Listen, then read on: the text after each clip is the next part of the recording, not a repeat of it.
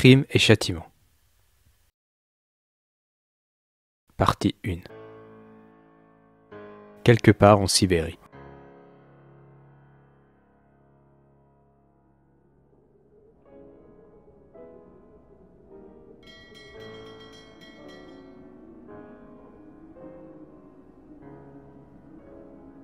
De quoi les hommes ont-ils le plus peur?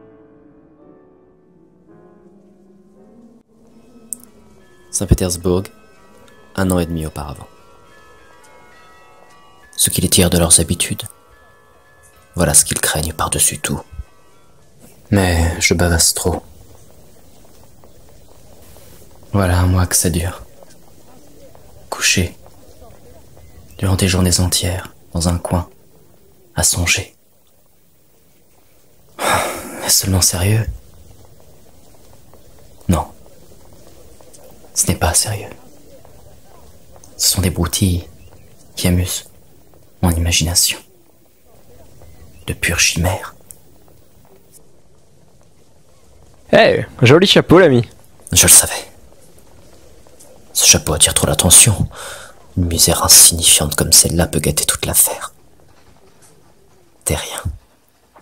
Ce sont toujours des riens qui nous perdent. «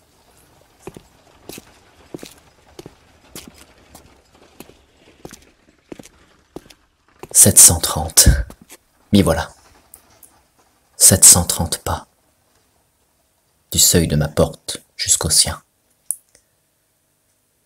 Si j'ai peur maintenant, qu'est-ce que ça sera quand je viendrai pour de bon?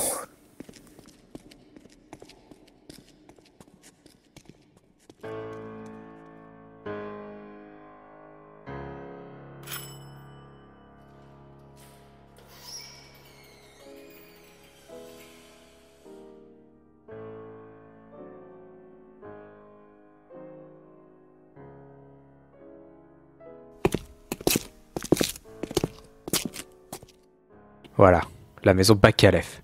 Nous sommes arrivés chez ta mère et ta sœur. Comment ce Loudjin a-t-il osé les loger dans ce courbi? Oh, Entre seuls, j'ai. J'ai besoin de marcher. Dis-leur que j'arrive bientôt. Il croit m'avoir piégé avec ses questions. Et demain, encore un interrogatoire. Comment ai-je osé prendre cette hache et verser le sang? Les hommes extraordinaires ne sont pas ainsi bâtis. Ils sont faits de bronze, non de chair.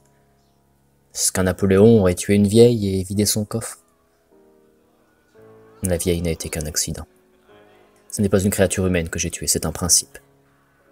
Mais je n'ai pas su aller au-delà, je n'ai su que tuer. Et encore. Pas si bien, ce qu'il paraît. Je suis une vermine. Je suis une vermine parce que je suis encore plus vile que celle que j'ai tuée. Et parce que je savais que je penserais cela après l'avoir tuée.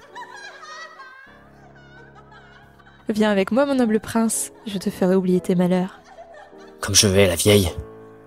Je crois que si elle revenait à la vie, je la tuerais. Encore une fois.